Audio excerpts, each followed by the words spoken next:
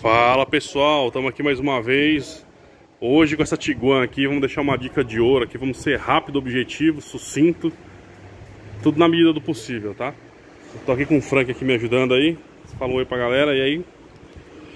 Então gente, aqui é o seguinte, tá com esse Tiguan aqui, ó Esse carro tava apresentando um problema de falha de... Falha no motor, né?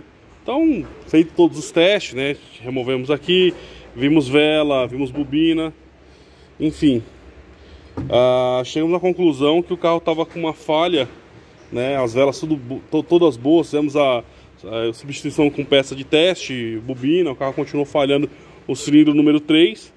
Então a gente chegou na conclusão fazer a, o teste e a substituição do bico do cilindro número 3, tá? Então, esse aqui é um bico de injeção direta, tá?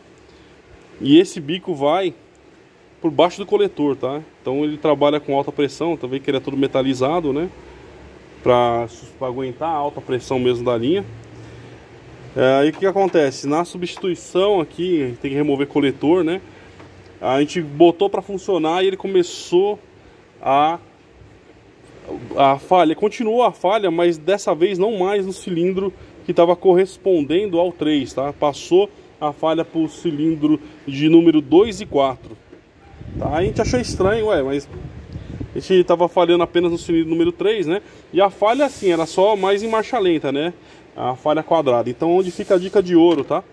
É, a gente resolveu, pesquisando bastante problema aqui, fazendo a investigação, a gente chegou na conclusão que esse carro tá com problema na bomba de combustível. Não que o bico não estivesse com defeito, tá? A questão é a seguinte, essa que fica a dica de ouro aí. A questão é a seguinte, o bico, se ele tiver com alguma tendência a ao entupimento, uma baixa vazão por problema mecânico dele mesmo, tá? Se você tiver uma pressão de linha de combustível baixa, ele vai dar menos vazão, tá? É, pelo bico que tá um pouquinho mais, um pouquinho mais ruim ou com uma, um, uma vazão menor, né? Então quando a gente fez a substituição, ele deixou de dar o defeito no, no cilindro número 3 e passou para os próximos, por quê? Porque os próximos também não estavam muito bons, né? Então a gente fez a substituição da bomba de combustível, pega ela aqui. Frank aqui, ó, com a bomba na mão. Pessoal, perdão pelo barulho aqui, tá? Tem aqui a bomba de combustível completa, tá? A gente fez a substituição dela. Gente, não tenta trocar refil dessas bombas, tá? No caso da Tiguan, ela é uma... Essa bomba, ela é... Ela não é muito cara, tá?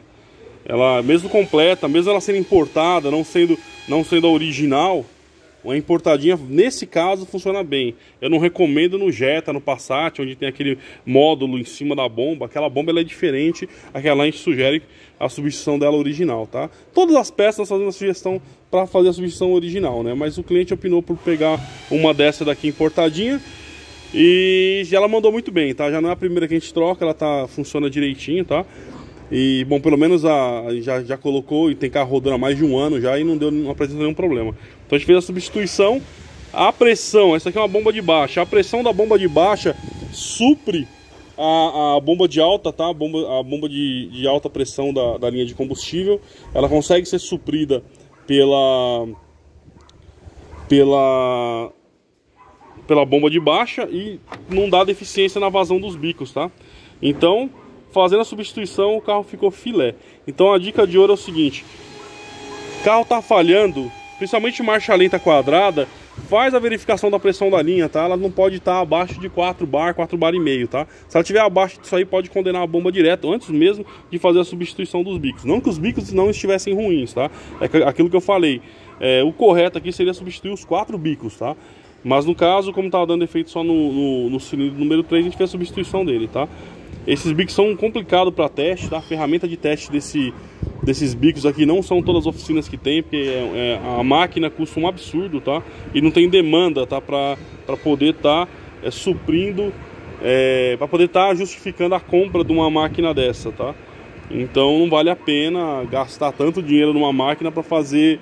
É, poucas oficinas vão ter, né? Para fazer pouco serviço, entendeu? Então a dica de ouro começa aqui, ó. Faça o teste na bomba de combustível, na, na pressão, na vazão da linha, tá? De baixa, na de alta vocês fazem um teste com o scanner no carro, tá? E a pressão tá baixa, substituição, tá bom? Então é isso aí. Manda um abraço pessoal aí, Frank. Até mais, gente. Forte abraço. Não se esquece de se inscrever no canal, deixar o like aí, marcar o sininho da notificação.